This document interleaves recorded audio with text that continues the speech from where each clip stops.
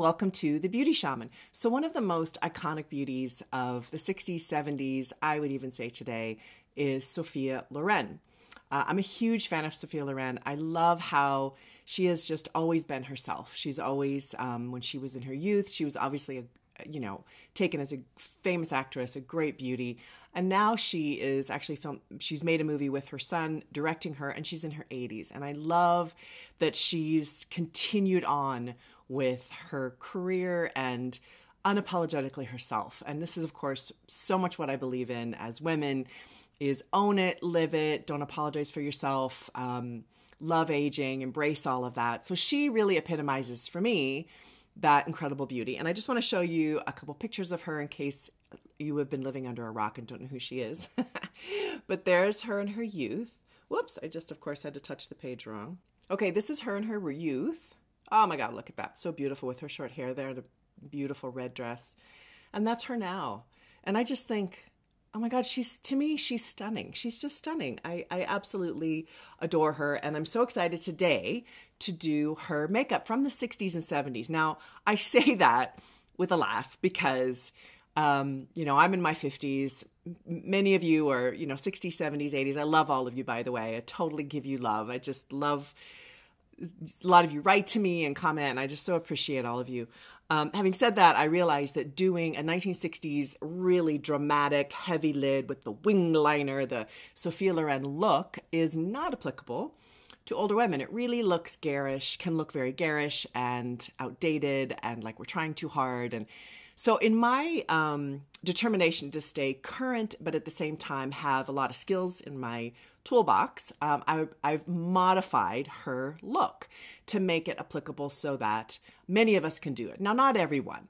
Um, her look really does demand um, that you have very big lids because she does a lot of black and gray and very dramatic over her lids. Um, now, that's very hard if you're like me and you have smaller lids or no lids or a double lid. So, we are going to just modify this according to you, according to what looks good for you, and I'm going to modify it for me. I am not going to do the big old heavy duty wing liner. I actually already made a video trying to do it, and I thought this looks terrible. So I'm redoing it because I feel like I want to do things that look beautiful. Part of my belief system is I want to look beautiful. I want you to look beautiful. I want us to be current but snazzy and savvy and fabulous. So with that in mind, we're going to make the liner less dramatic, but we're still going to do that that lovely, very smoky, sexy Sophia Loren eye. Mm. All right, so before we get started, visit my website at thebeautyshaman.com. Use the code SB10 for 10% off everything in my store. And then also, please hit the subscribe button um, and the bell in order to be alerted every time I upload a video. Okay, let's get going. Okay, as with every video, I've got my cup of tea. So I'm just wondering what kind of tea you're drinking. If you're a tea drinker, I'm a huge tea drinker. Today, ooh, it's very dirty, my cup. But anyway, this is actually some um, black tea from a place in Denver called Babes, B A B E S, and it's actually a tea house, and they do high tea um, and uh, just regular tea if you just want to have tea. Um, they have all kinds of tea against their far wall. It's absolutely amazing. So this is their house blend. Um, if you're in Denver, please check them out. I think they're great, and this, you know, I'm such a fan of like sitting and having tea with my friend Tiffany is who I met. But anyway, you can have tea with your friends and just it's such a good feeling. So take a sip of tea and we'll get going. Okay, so to start off with, I'm going to do a little bit of lip balm because my lips are sort of dry. Um, because I'm in Colorado and it's dry. So this is my favorite lip balm. It's Bobbi Brown lip balm. So it's a really nice amount, nice quantity, and it gives it a little bit of a shine. So I really love this. And the lipstick I'm going to use is actually a, um, a matte that doesn't move, right? It's it's called Lip Fixation by Jane Iredale. So it ends up being drying on your lips. So um, that's one of the reasons I'm like hydrating, hydrating before I put that on. Okay, so first of all, to do this look, you can't have.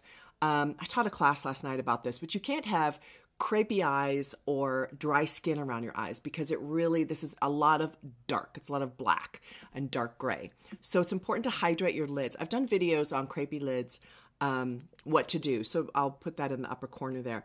But in any case, I'm going to put a little bit of transdermal C serum here from Truth Treatments, my favorite serum. Loaded with vitamin C, it's excellent. And we're just going to do a drop because it's so concentrated. Rub my fingers together, and I'm just going to put this around my eyes. I've already hydrated the rest of my face, but I'm going to really focus on my eyes because of what we, the look we're going to do. Good. Okay. and see, my skin gets so happy when I do this. My skin's like, thank you, mom. It's amazing. All right. So now let's do a little bit of primer. So we're going to do Jane Iredale Smooth Affair Primer. Really love this. It kind of just blurs, softly blurs everything which I love. And if you have oily skin, I believe you can use this. Someone just wrote to me about that. But yeah, I do believe that this is good. The ones that are, um, if you have very oily skin, I do believe there's one specifically for that. But if it's just only slightly oily, I think this one's fine. My skin is very oily up here, and every place else it's kind of normal. So this one works great for me. And I like older women to have a little bit of dewiness to their skin. Um, I don't like that really matte look that so many of our younger counterparts do, I feel like it really it can be very aging on us. So I always like that really healthy dewy skin. Okay, so this is some MAC. Um, this is C3 Face and Body because uh, it's got we have some sunshine now, which is really amazing. So I'm actually out in the sun a bit. My skin's getting a little color. I mean, I use sunblock, but um, you know, a little bit of color doesn't hurt you. In fact, it's really good. The vitamin D is great, especially since we've all been locked inside for a year. Okay, so I'm going to do concealer last um, after I'm completed everything because some of this is going to fall underneath my eyes and I'm going to need to clean it off. Um, so I'm going to leave concealer for last. Let me take another sip of tea. So Sophia Loren really loved that bronzed, beautiful look to her skin. So we're going to do contour and bronzer in order to get her chiseled look. Um, and the truth is, if you're older, probably over the age of 60, 65, and, and unless you have a really round face, you really don't need contour. Um, I'm going to use a tiny bit. Um, so I'm just going to use this color right here. So it's just a color a couple shades darker than my skin. And I'm just going to put it here right over my age spot. It's a handy place for it. Just to add a little bit more dimension. I have a fairly thin face, so I actually don't use a lot of contour in normal everyday life. I don't feel like I need it. I do feel like in front of the camera it does help to so my face isn't quite so flat. I'm to put a little on my forehead just to give me I have a good sized forehead. Lots of brains is what I say, instead of that I'm stubborn or something. I'm going to put a little bit of powder on just because I want to put um, bronzer and I don't want it to um, smear. So I'm going to use my Koh Gen Do powder here, which I love. I'm totally enamored with this. So isn't this pretty? And it's slightly lighter than my skin. This is like velvety soft and smooth. It's wonderful. And then there's white one over here on the side that you can use for highlight. So um, I'm digging this, and I'm going to put it on with just a very light brush. I used to use a big heavy brush to do powder on my videos, but I'm more and more, I'm just going for something really light like this. And the truth is, because my skin is so um, healthy, it's going to break through. I'm going to have some breakthrough glow as I go along, which is totally fine. Okay, that's all I'm going to do. Okay, a little bit of bronzer. So this is Bobbi Brown in medium. Uh, and I'm just going to put, you know, again, she loves that very healthy bronzed. I'm out in the sun. So many of you love this, right? So this is a really nice bronzer color that Bobbi Brown makes. I'm also going to put it a little under my chin because we all get a little droopy right here, right? So if you just take your contour or bronzer and just put it under your chin a little bit over just to, you know, kind of take that out a little bit. Isn't that cool? All right, so for eyebrows, Sophia loved those really sort of filled in eyebrows with individual hairs really brought out. Um, that can be a little too much as you get older. And if, if you've noticed her in later pictures, she doesn't do that as much. She has also referred back to her makeup back in the 60s as being too heavy uh, in retrospect, which I think we all could do that looking back at our makeup in the 60s and 70s, right? So, um, so I appreciate that. I appreciate her honesty. So, you know, go with what works for you. I do think a more filled in brow look goes better with the amount of um, makeup we're going to have on our eyes. So, if you can make your eyes a little bit thicker for this, I think it would definitely fly. So, I'm just going to fill it in on the outer edge. And I'm just using, this is called concrete, just a shadow, an eyeshadow. I really like using eyeshadow as eyebrow fill in just because on it's just so soft, right? And I think pencils can sometimes look too drawn. And if you have unruly eyebrows, uh, you know, put a little brow gel. This is the Brow Gal um, brow gel. This works great just to fill in your brows, not fill them in. Well, you can. You can get this in different colors and comb it in, and it's going to automatically add a little bit of color. And that's really fun if you do that. It's great. Okay, so now we're going to start with um, an eye base because you can't have any oil in your lids when you're dealing with these black, really dark colors because they'll just streak. So I'm going to use Painterly by MAC, and this is both an eye base and a cream eyeshadow. Works very well. I'm going to use my finger and just put it all over my lid. By the way, what do you think of Sophia Loren? What do you love about her? What is your, are you a fan? You know, what did you admire about her when you were younger? All right, now I'm going to cover my lid in black. And so this is a MAC, um, same as the my, my product I just used. It's actually a paint pot um, by MAC. And this comes in black, so this is very dark. Um, I'm going to really blend it out though, and I'm going to use this brush and I'm gonna, this is a goat hair brush, which is very easy to clean. If you use a brush that has a less stiff hair, um, like a softer hair like this one, I'm not sure what hair this is, but it's a lot softer than goat hair. Um, it's gonna just, you won't be able to blend it. So it's really important to use a brush with a stiffer hair if you're gonna use these creams, okay? So now I'm gonna take this, dab it quite a bit because this is very dense black. And I'm gonna just kind of lightly, see how dense that is? it's kind of crazy. And I'm going to put this all over my lid and just work it in to my skin.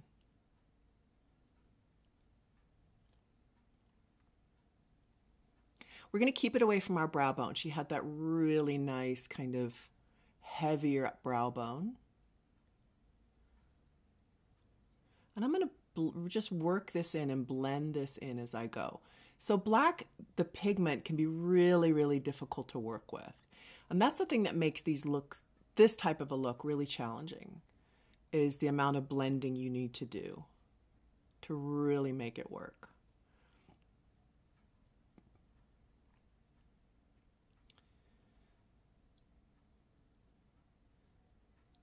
So I'm going to soften down this part of it, but right now I'm just looking into getting it even. Okay, now I'm going to just take my finger. This is what I found to be the best tool. And just lightly tap that in. Just tap in those edges. You can use a brush. I, I'm very tactile as a person. I like to cook. I like to get my fingers in things. I'm, if you met me, I'd hug you.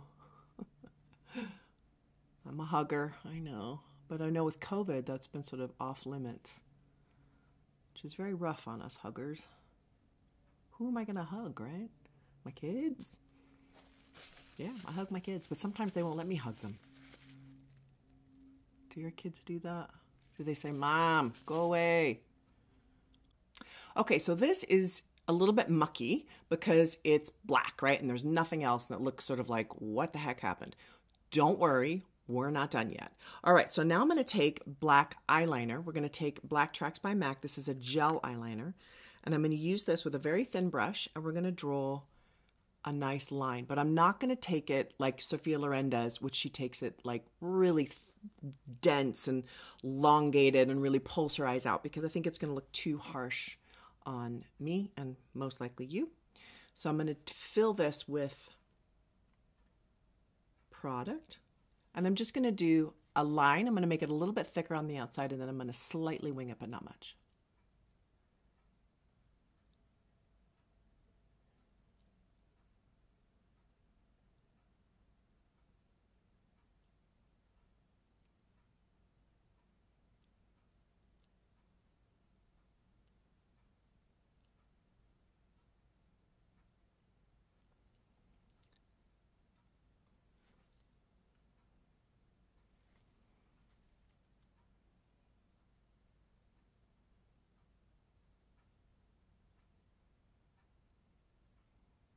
Doesn't have to be perfect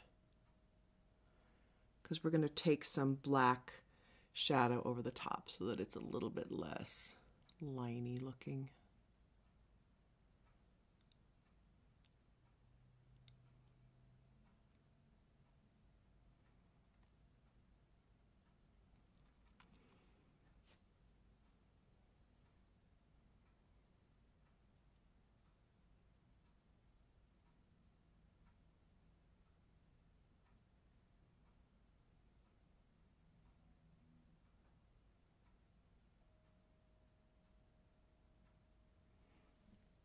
Okay, so all the muckiness is starting to give way a little bit.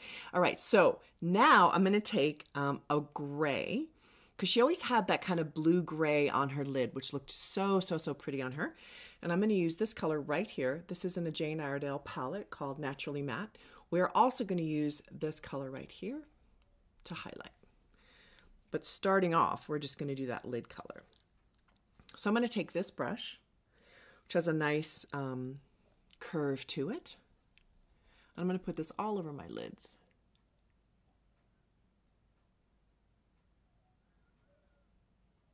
And just really concentrate it on my lid area.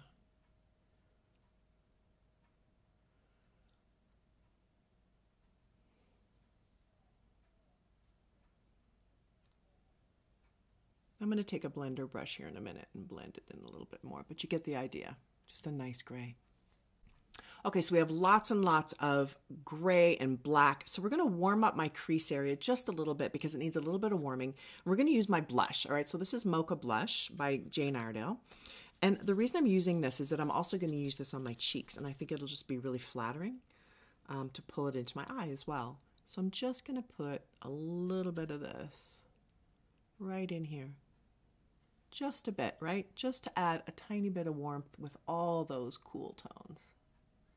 All right, so I don't like the line that, that liquid liner makes on older women. So I'm going to take um, this brush, just like a soft blender brush, and I'm going to just put like a charcoal on top of it just to tone it down slightly and to take away some of that lined look.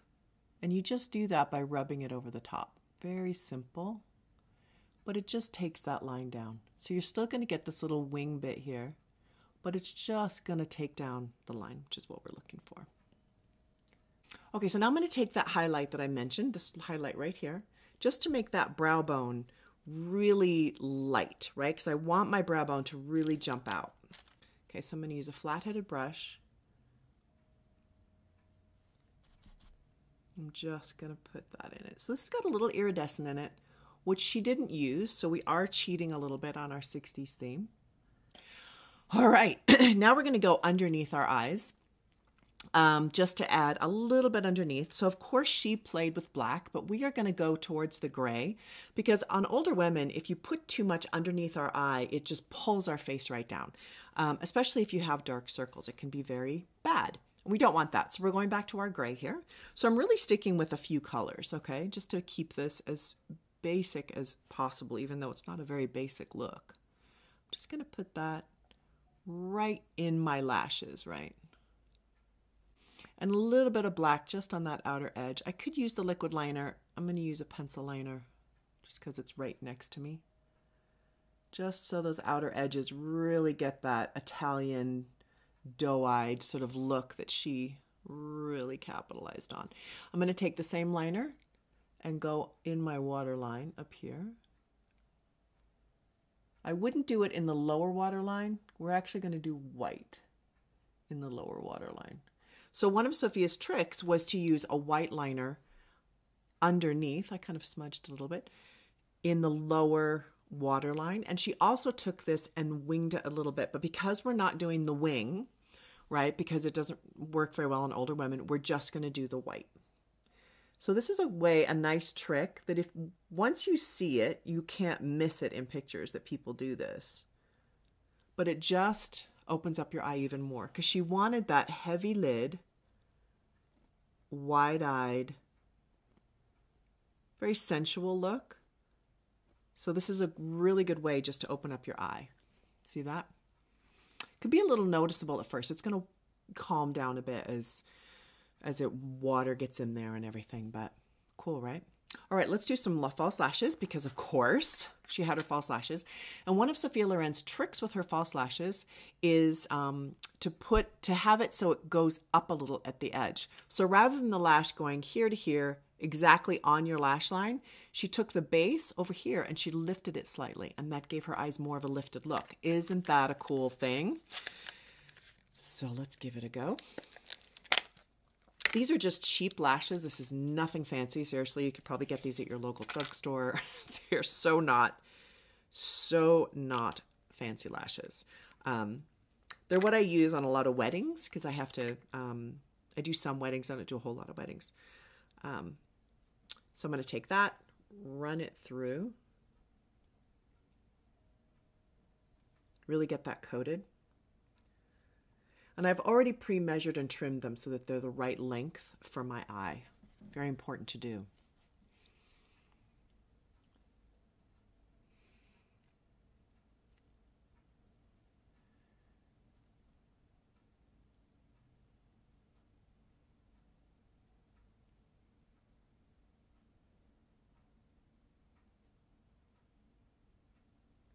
Okay, so those are the Sophia Loren eyes. Let's continue and do the rest of her very sensual 1960s look. So to start off with, we need to do a little bit of concealer. Um, so I'm going to use my amazing concealer here in medium golden. And I'm just going to tap a little bit of this around my eye area. Not too much. We don't want too much heaviness around the eye. we do want to brighten it. So this is slightly lighter than my skin. It either matches or goes slightly lighter depending on my skin color, if I've gotten some sun or not. So you just want it, like look how much that brightened it up underneath my eyes. That's really what you're looking for. You don't want to go a lot of times in the in the I always make fun of Instagram makeup artists, but they tend to do a lot of concealer and then they bring it up and it's this line and you know. So yeah, no, don't do that. So we're just going to do a very, you can tell it's just a light tapping. I'm just being very light-handed with this. I don't like the really heavy made up look. Um, if you've been watching me for very long, you know this to be true. I really like a softer look on women, on older women, but I want something that looks current, that looks beautiful, but it's but it's not heavy-handed looking. And I think the Instagram look is just very, very, very heavy, and I'm not very for it. All right, but look at the difference that made. How amazing is that? So now I'm going to take that powder, my lovely Koh Gen Do powder, which I'm madly in love with. I think I'm going to sleep with it. I like it so much. All right, we're going to just put this around my eyes. Only around my eyes because I just want to take down the little bit of that shine. Makes such a difference. And a little bit up in here because I've got and this has a slight rose tint to it, so it's kind of a brightener, which I think is really, really nice. And I'm going to take that white on the edge there that I pointed out earlier, and we're going to go just a little bit up in here. Why not? Make full use of your products. Okay, Awesome. All right, so let's do lips and then we'll do eyes last. So I'm going to do, this is called Craving by um, Jane Iredale. So this stays on. This does not come off and rub on mat, your mask or anything. This is fabulous. And it's very dry so it doesn't come off. You have to be sure to hydrate your lips, but it stays. It's fabulous. And I love this color. It's kind of the perfect Sophia Loren succulent, um, a little bit of a warm tone lip. So I love that. Now I'm going to use Chicory Lip Liner by MAC. Just a little bit darker than the lip. I don't normally advocate darker lip liner on older women, but for this look in particular, I'm going to do it. Sophia Loren did not overdraw her lips. She had really amazing lips. People pay big money to have lips like that, right? All right, now I'm going to use the same blush I put in my um, crease, this one. This is Mocha by MAC. I'm just going to lightly put it my cheekbone and a little bit right here. Like, look at the difference that makes. I love blush on older women. We need it, right? We need the color. And if you use it kind of up around your eye area, like how pretty is that? Just don't go too low. Some of you, you know, bring it down. Don't do that because that just pulls your face down. Everything needs to go north, right? Our boobs, our booty, everything. Think north with everything, right? Okay, so this is my 1960s, early 70s Sophia Loren sexy makeup look. Okay. So here I am in my basement looking sexy by myself. Isn't that just the way it goes? I am going out for a drink tonight with my friends. So that maybe I can, you know, be a little glamorous in Boulder, Colorado. I don't know. It's not a very glamorous place. In any case, I think this is so much fun and I've had a great time figuring out how to do this. I've actually never done her makeup on anybody, even my, including myself. So anyway, I hope you got a lot out of this. Um, I do really think it is just that heavy lidded, lots of lash, sensual sort of a look to it. So let me know your thoughts on this. I'd love your feedback. Um, and if you give it a go, please write and tell me how it went because it is a little bit more complicated than normal uh, makeup. So thank you so much for watching The Beauty Shaman and have a great day.